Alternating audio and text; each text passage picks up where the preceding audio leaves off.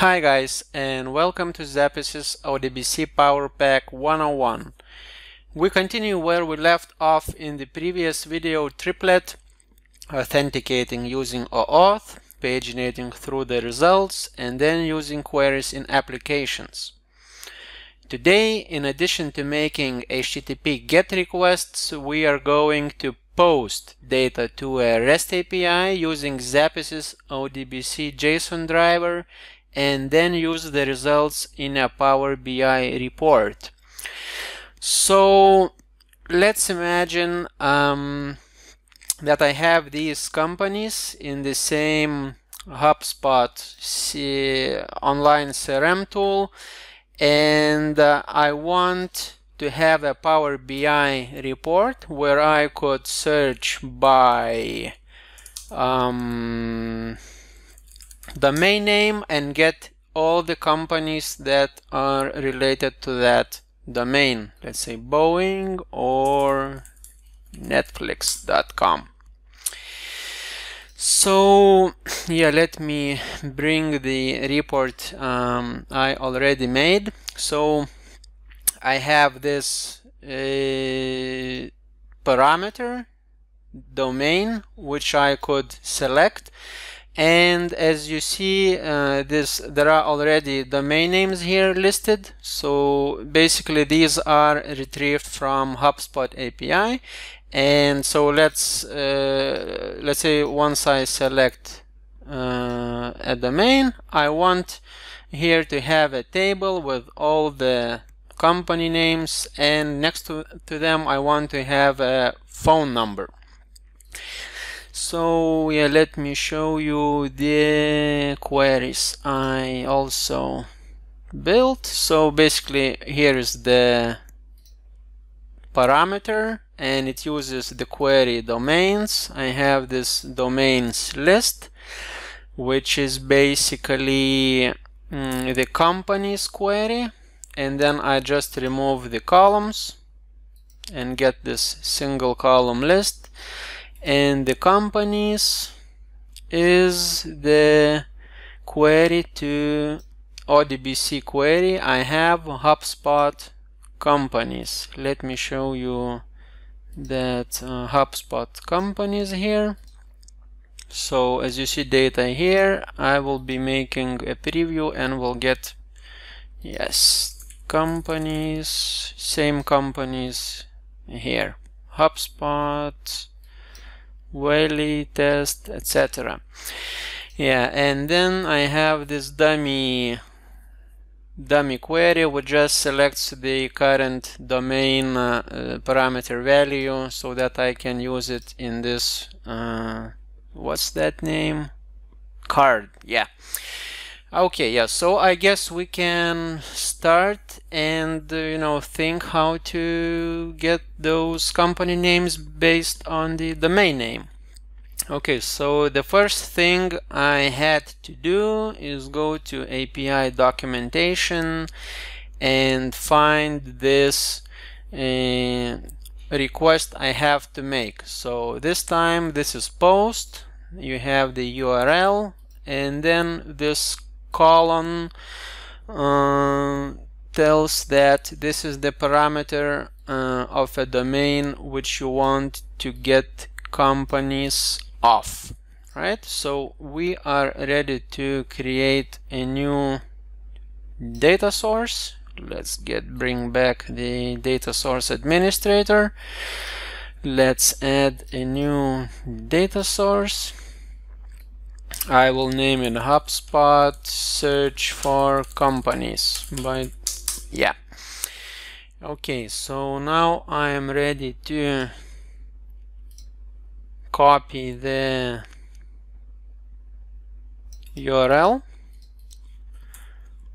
so this sample URL so this sample URL will retrieve all the companies of HubSpot as you see here and this time let me show you how to authenticate using a simple URL parameter and HubSpot uses this hapikey so let me go back to my um, account where I uh, where I have my companies companies listed. As you see from the previous video, we have this um, integration and integration apps uh, registered here, showing that we are using them and we can disconnect the usage. And now let's press this HubSpot API key, copy it, and use it here. Okay. Let's go back here to documentation. And there are also several parameters we need to pass like limit properties offset so let's again take the sample data from here. And let's set the request method to post because it's here post. Let's configure. Limit. We can remove the limit because we don't want to limit the company names that will be retrieved for us. And um, these properties um, property is an array of of properties we want to be returned for us. So domain will be returned then I will change this to phone then name will be ret retrieved for us and I don't need this one. And this is offset for paging which we will not be using now. Okay. We also have to set the body content type. And it says here application JSON. This is kind of important option because if you will uh, use any other kind most probably the you will you won't get the response you want. You will get an error yeah and also in in this place we could enter the parameters. Let's say you know any my header my value. And this could be passed as well but um, but none of them are required to be passed so we are not going to be to be passing any. You can also modify them using this button and this editor. So what you enter here will appear here. So let me delete those. And let me show you another way of authenticating uh, this HTTP connection type basically use it when you have um, Windows credentials, Windows authentication or basic, NTLM, Kerberos, eh, or when you are making SOAP requests. So uh, when making SOAP requests, you should use then ZappySys's XML driver and use this authentication type. Now there is also static token Mm, authentication where you just write the header name and here and the key here. It's and also there is dynamic token where you have to log in into the website and retrieve the token and then it can be passed along all with other requests. Okay so we won't be using any now. Okay let's make a let's test connection let's make a preview companies results let's write results so that um, this array, this column would be put into rows. Okay. And only one row because HubSpot has only one company. So the domain name was retrieved and company name and also somewhere will be phone number. Okay. So okay, so we are ready to use this query in Power BI. So let's let me remove all the unnecessary um, options. I'm copying this, clicking OK, getting back to Power BI, and let's create a new data source from ODBC let's connect let's select the HubSpot search for companies, advanced options, and now let's enter the SQL statement. Okay, let's click OK. Load.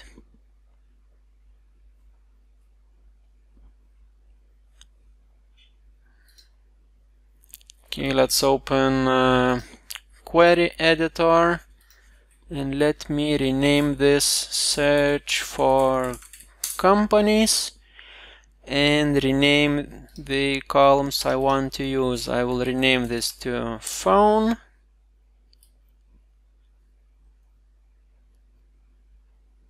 and this to company.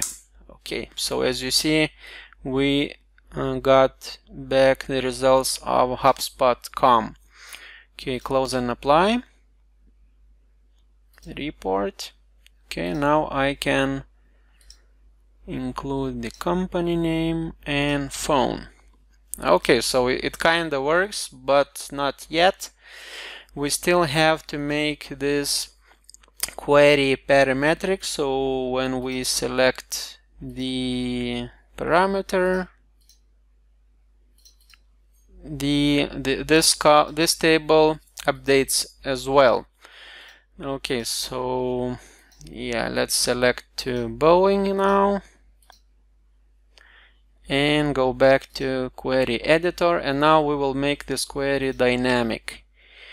Okay, let's right click on the search for companies, advanced editor and yeah, scroll to the right and when you find HubSpot remove it close the string open the string now put two uh, ampersands and write down the parameter name which is domain right here okay done oh it's already retrieved us back the data of Boeing Okay, close and apply.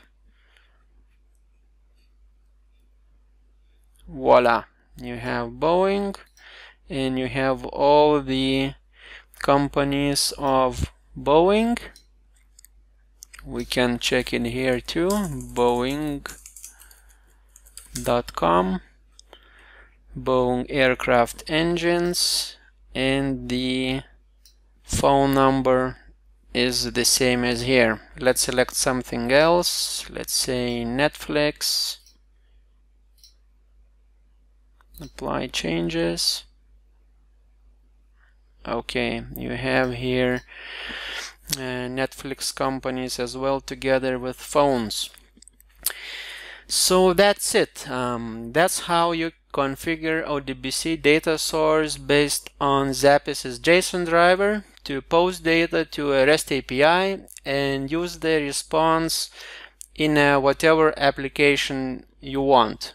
We just used Power BI to demonstrate, you know, the concept. You also learned how to make post requests dynamic by using applications parameters.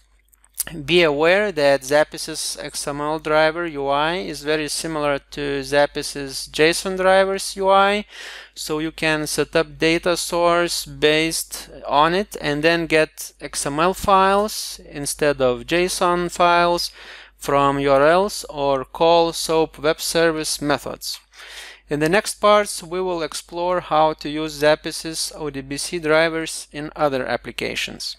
Thanks for watching.